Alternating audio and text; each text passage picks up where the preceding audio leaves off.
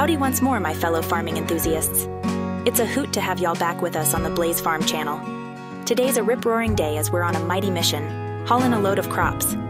The goodies on our hauling list include sorghum, sugarcane, canola, lime, and corn. To get the job done, we've got ourselves a posse of five Volvo trucks, five trusty trailers, and five man trucks. But hold your horses, folks. In the second part of this here video, we're fixing to load up some fruity delights using none other than John Deere and Fendt tractors. Now, ain't that something to look forward to? So saddle up, partners, and let's mosey through today's rootin' tootin' adventure. I'm Blaze, wishing y'all a dandy day ahead. Don't forget to slap that like button, holler at your buddies, and hit your wagon to the subscribe button for more Farming Simulator 22 shenanigans.